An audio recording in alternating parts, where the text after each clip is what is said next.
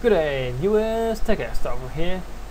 I'm releasing my, maybe my final product, utility, uh, Saints Row Mod Manager version 1.0.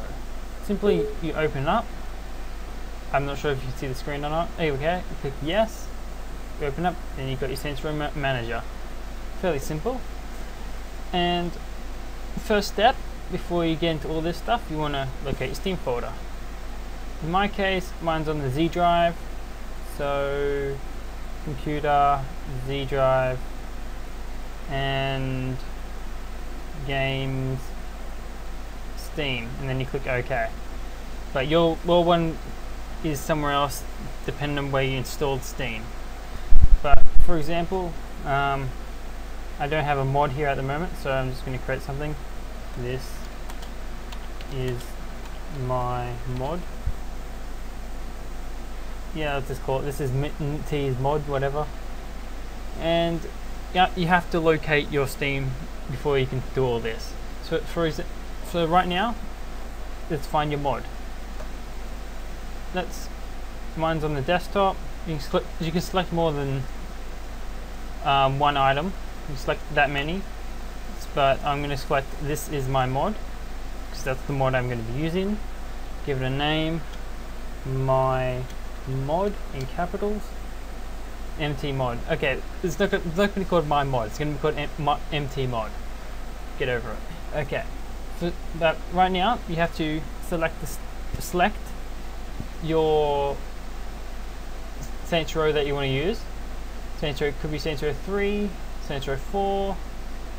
But this time I'm going to set install it to Saints Row 3, and you simply click Add Mod and it deletes it off the location where you had it originally and pastes it into the Steam folder where you've located it into your Row 3 or Row 4 depending on which one you selected and you can simply remove it there or remove it here.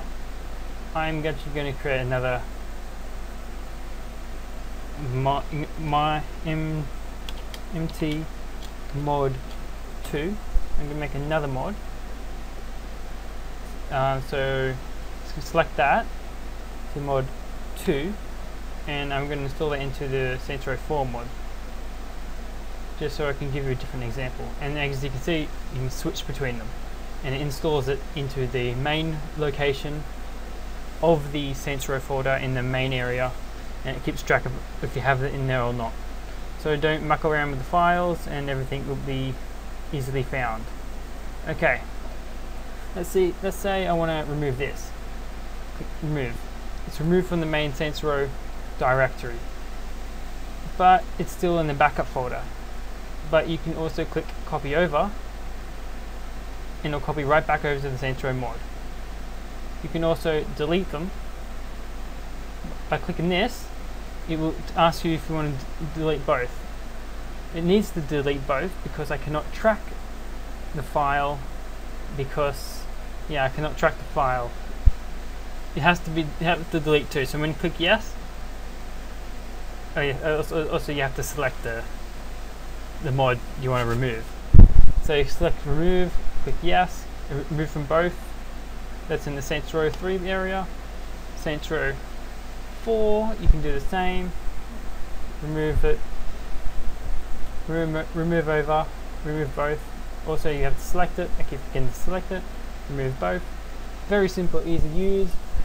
So to go over it quickly, first step, locate your Steam, easy, wherever you installed it. Um, get the mod you've installed. It has to be the main files, it cannot be a directory. For example, you can you can't have a folder like that, but you can have a document like this, as you can see. Once you've browsed it, give it a name, click add, this adds it to the, your selected Saints Row 3 or 4. Once you've done that, you can remove it from the, that from the main directory of the mod, and then you can also delete it from the backup. Also remove, uh, add from the backup, you can add it to your Saints Row mod. Very simple to use. I'm just probably horrible at explaining things, but that's my probably my final program. utility I'll be making. If you guys um, find some errors or something, please leave a comment down below or wherever this video is posted. Also, remember to comment, rate, subscribe to this YouTube channel, TechX Software. Um, and yeah, hope you guys enjoy this video and program. See you guys later.